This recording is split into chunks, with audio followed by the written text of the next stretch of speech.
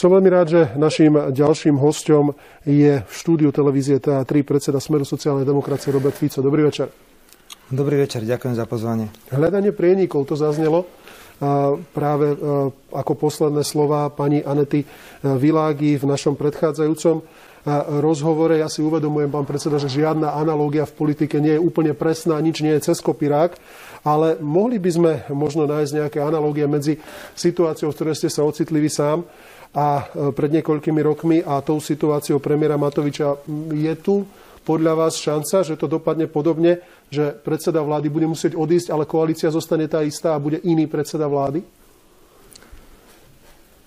Pán redaktor, škoda, že nemám to moje svetoznáme plexisklo, lebo vy ste sa mali možnosť presvedčiť, že sa veľmi usmievam na tom, čo bolo aj teraz povedané pred chvíľou. Ak sa dvaja dohodneme, že si dáme tie rúška dole, tak to môžeme. Môžeme, ja budem veľmi rád. Nech sa páči. Ďakujem pekne, ak je to možné, tak to veľmi privítam. Ďakujem pekne. Začal by som tým a pri všetkej úcte k názorom politológov, že jedna vec je politická realita, druhá vec sú nejaké teoretické východiska a môžeme špekulovať, e, ako len chceme, ale vecne tá situácia je úplne iná, ako popísala teraz pani politologička.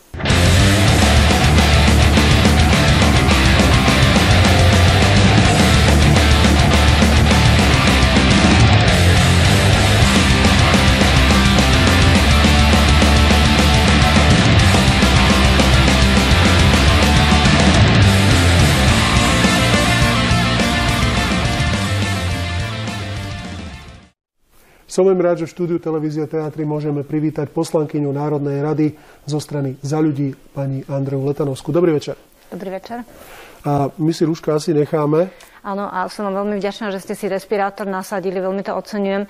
Vaša televízia má veľkú sledovanosť a je veľmi dobre využiť každú príležitosť, aby ste išli príkladom všetkým, pretože je veľmi zhubné myslieť si, že s dôležitosťou politika klesá riziko prenosu infekcie a myslím si, že každá príležitosť má byť využitá, aby sme vyslali signál ľuďom, ktorí robia oveľa náročnejšie veci v ochranných prostriedkoch, ako je len rozprávanie. Takže ďakujem pekne za to, Nebolo že ste si to dôležitosti politika, bolo to moja ľudská reakcia. Beriem, ak som urobil chybu, budem si za to niesť zodpovednosť.